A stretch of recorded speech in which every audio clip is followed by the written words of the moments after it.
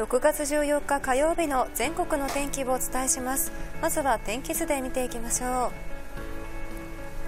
前線や低気圧が接近し九州から近畿の太平洋側を中心に雨の強まりに注意が必要です。その他西日本の日本海側や東日本にも雨の範囲が広がる予想となっています。詳しく見ていきましょう。天気の移り変わりです。8時頃から見ても広い範囲で雨が降りやすく特に太平洋側を中心にざっと強まったりする恐れがあります。空の変化に注意をしてください。家を出る際は雨具が手放せません。また風が強いためレインコードがあると重宝しそうです。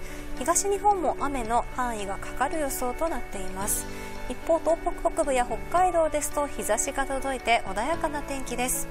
また南西諸島ですと引き続き晴れたり雨が降ったり変わりやすい天気。